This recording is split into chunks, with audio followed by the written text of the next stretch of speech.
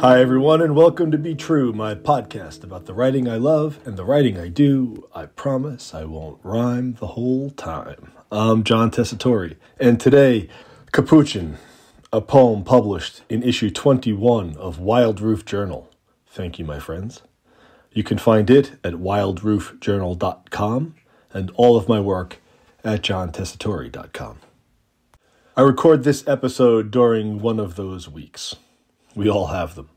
One of those weeks when, for whatever reason, in my case, family responsibilities, life interrupts any plans you may have had. A run ragged week. A what am I forgetting? Do I have everything? Is everyone else okay week. A week in which your sense of responsibility to others and to yourself is greater than your capacity to satisfy anyone's needs, least of all your own. A grab some hash browns and a large coffee as you race by Dunkin' Donuts kind of week. A week in which you just have to accept second best in every way, because first best is out of reach the moment you wake up. So here I am recording this episode in a bit of a rush. I even feel like I'm stealing the time to do it. But that's actually the appropriate mood for this poem. Among other things, Capuchin is about trying and failing to find order in life trying and failing to stick to the plan. I think of it as a very middle age kind of poem. It's a poem that contrasts daily life with the lives of the Catholic monks of an earlier era in our history, who lived in relative seclusion, whose days were organized by church ritual, who were the keepers of the written word for much of the last millennium, in many cases copying ancient texts by hand for their libraries and, fortunately for us, for posterity. The title, Capuchin refers to the Franciscan order that practiced and still practices extreme austerity as it aids the poor. The Capuchins also maintain a very striking little crypt beneath a church in Rome, which is where this poem ends. Behind the trees, a subtle shift to gray, but not yet the dawning, the brightening. Soon I will lift these warm covers and stir. Soon I will begin another changeling day, but I miss my old routines. The monastic order of my life in segments, the specifics all mine, before I was devoured. My bones pecked, picked apart, scoured, sucked clean. In these early hours I am skeletal, an empty frame trying to remember last night's dream.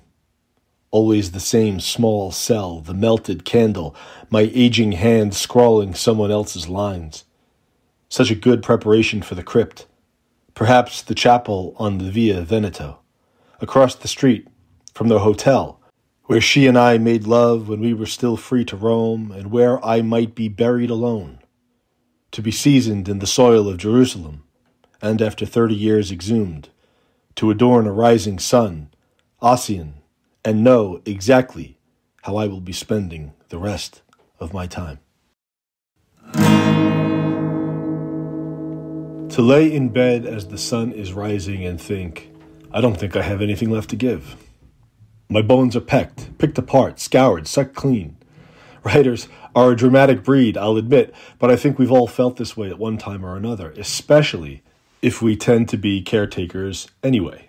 It's like my mother always says who takes care of the caretaker? I have nothing left to give. but that bone image stuck with me for a while. That feeling of laying in bed fading away down to my own skeleton. It's an image of exhaustion, of limitation, of death in life, or just plain death.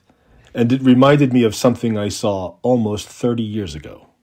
I was traveling through Rome with my cousins, one of whom had lived in Rome for a while and knew just where to take me. He knew all the places I'd like.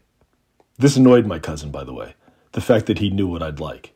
Because we'd traveled together before, and I'd been annoying him for years. Not his fault. When I travel, I'm even more like a chipmunk than I normally am, all excitement and enthusiasm and twitches. I read the wall signs, I ask questions, I talk and talk and talk, and I forget to eat and I don't sleep, and it's a lot. So at that point, he knew exactly what would excite me and what would shut me up. One day we were walking up the Via Veneto and he stopped and pointed and said, In here. Another church. Our Lady of the Conception of the Capuchins. he led us down the stairs into the crypt.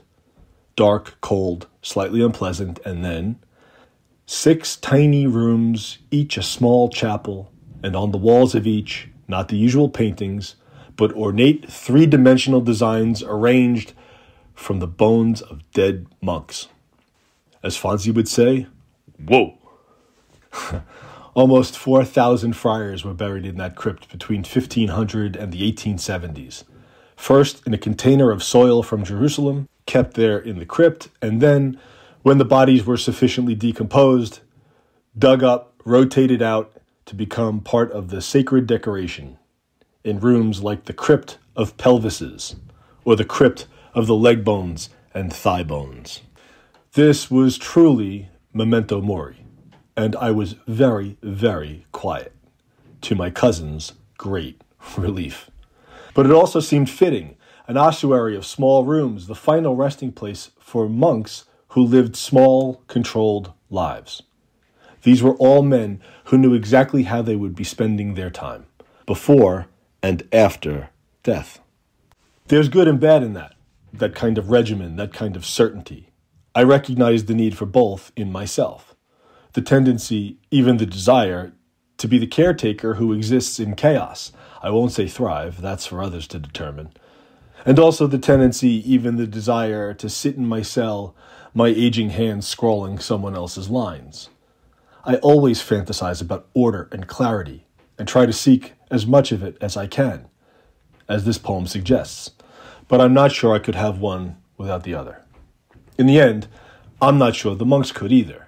I suspect it was the muck and disease in which they toiled that made the quiet of the monastery feel like peace. Maybe it was the work that sustained them as much as the discipline and gave the discipline its meaning. One thing I do know those dead Capuchins win the contest for the most beautiful corpse. Their remains are a hell of a lot more striking than mine will be. And so, in the hope that you find just the right balance of order and chaos in your life, this is John Tessitore concluding another installment of Be True. If you've listened this long, thank you. You can find more about my work at johntessitore.com. But first, I need to go back to Mark Twain's travel book, Innocents Abroad, chapter 28, in which he describes the Franciscan ossuary in more detail. It's easy enough to find these days. Let's read it together. Special thanks to me for today's theme music, which I call A Chord. Maybe we'll talk again.